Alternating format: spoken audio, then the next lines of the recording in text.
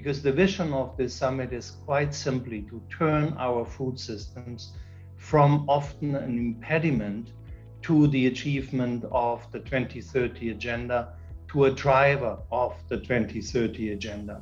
You know, we all know the world is facing three challenges the climate emergency, the loss of nature, and mounting inequality. And there is no other system in the world where these three challenges come together as in the food system. Meeting the goal of healthy soil, soils is going to be a critical driver for the UN Sustainable Development Goals. It supports nature, it supports climate, food security, and livelihoods. Soil simply is the battery for life. And the farmer is at the, at the frontier. However, it's not enough to point towards the farmer to help the farmer. We need a multi stakeholder approach.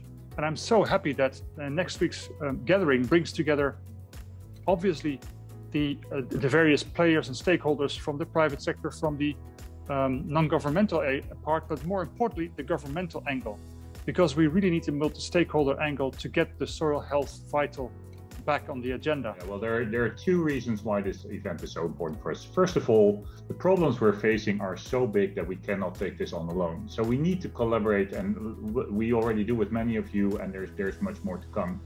The second reason why this uh, event is so important for us is because agriculture is key to FMO. Uh, we are one of the few development finance institutes with a specific agri focus. And you know, people in the developing world have the most amount of soil and they face the biggest climate change risk, as most of us know. But globally, five, over 550 million farms exist, of which over 450 million are small family farms. And there are certain farming practices with a high risk of soil health deterioration impacting farmers directly. Yes, the world is suffering from several global crises, which are often connected through land, making soil stewardship so important. Investments in soil health will be critical to reverse degradation, increase food and nutrition security, to realize the SDGs, to reach ecosystem restoration and climate change targets how can we translate better what we know into practice? So the issue is now how to get knowledge really to the ground. And in my view, we need to look into creating at really large scale and very systematically the spaces where researchers and practitioners, this means the users of the research, work together to test solutions and adapt them to the local context. So soil health is a crucial driver of whether farming businesses can work profitably today and tomorrow. Furthermore, regenerative agricultural practices, as mentioned by the chairman of Rabobank, are an opportunity for us to store carbon. As Michael said um, just previously, uh, building partnerships to achieve these goals are crucial. And farmers are the principal actors here, and without de risking their investments, significant behavior change is difficult or almost impossible. En particular voy a hablarles de uno en donde se logró integrar la matriz ambiental con la sostenibilidad económica en un caso muy particular.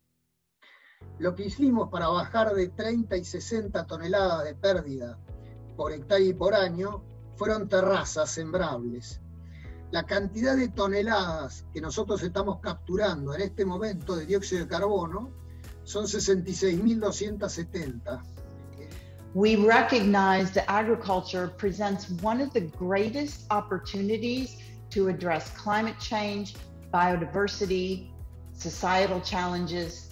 And so that's why we are helping to support regenerative agriculture practices that make soil healthier, sequester carbon, improve watersheds, improve biodiversity, and strengthen farmer livelihoods. So we need more regenerative practices, more agrobiodiversity, more innovation, more farming with nature instead of against it. Farmers need to be incentivized to adopt these practices. I hope to see the public and private sectors coming together to support farmers in transitioning to more positive, nature positive production without compromising, of course, the human right to safe, healthy, and nutritious food. Famines, which are increasing, are in fact man made tragedies. We must make famine and mass starvation politically intolerable, morally toxic, ethically unthinkable and humanly unacceptable through restoration of soil health. Soil stewardship and care must be embedded in every fruit and vegetable eaten, in each grain ground into the bread consumed, in every cup of water used, in every breath of air inhaled, in every scenic landscape cherished. Therefore, please, Martin, please, Agnes, it is time to take a positive action by endorsing Coalition for Action on Soil Health to promote the mantra that good soil health is equal to good food, is equal to good human health, is equal to good ecosystem, is good planetary processes. The time to take action is now on 23rd of September. I look forward to hearing it. Thank you.